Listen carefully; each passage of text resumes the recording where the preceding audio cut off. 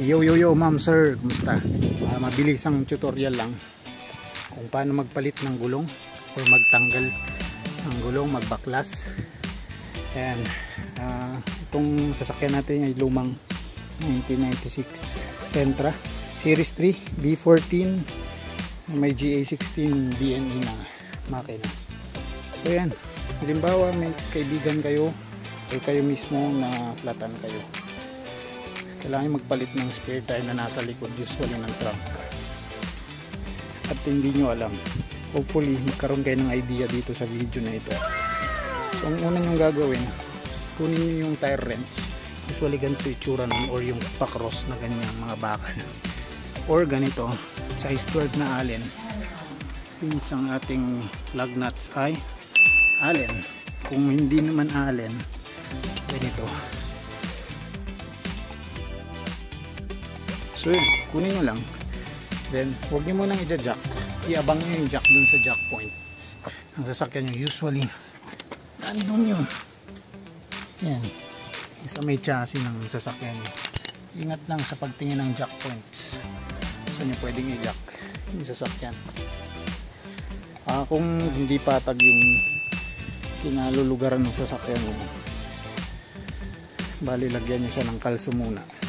Sa harap kung nasa likod yung papalitan nyo sa likod kung nasa harap yung papalitan yung gulong.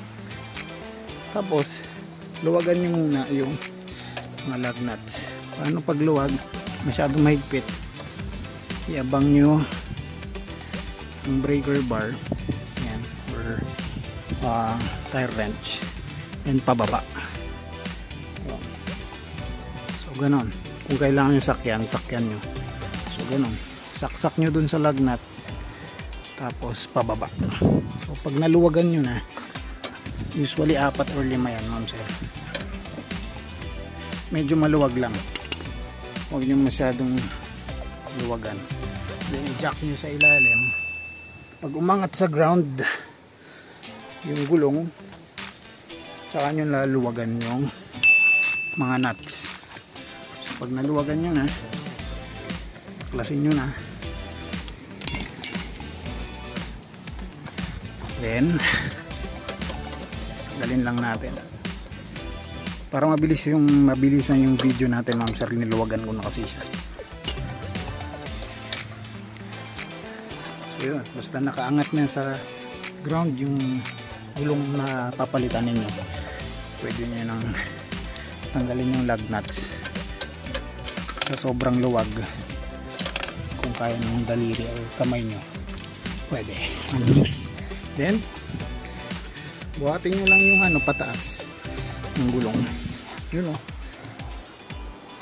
yun ma'am sir. Tapos usually pag ganyan magpapalit ka ilalim mo yung gulong. Yan. Then kunin mo yung pasensya na sa tank natin yung spare tire mo kunin mo. Pagulong mo lang dito. Example ito yon hindi ko na binunot. For example ito yung spare tire mo. Tapat mo lang siya ma'am sir sa mga butas. Para gamit ang dalawang kamay syempre. Then kunin mo ulit yung lug nuts. Hand tight mo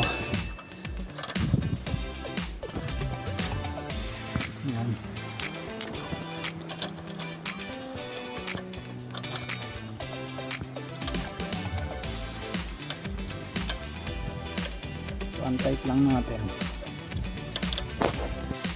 Make sure ma'am sir na hindi siya umaalog at nakalapat siya dun sa likod. For example dito kasi drum brake yung ano nito likod. So dapat nakalapat siya. Pag na tight na natin pwede natin higpitan ng konti. Ang paghigpit sir is pa right ang ikot niya right so for this halimbawa nandyan yung ano yung tire wrench. Ganun pa right dapat. Clockwise. Righty tighty lefty loosey kanina naman pag luwag pa left lefty or counterclockwise. So don't forget that mga sir. At wag muna natin masyadong higpitan kung kaya lang natin higpit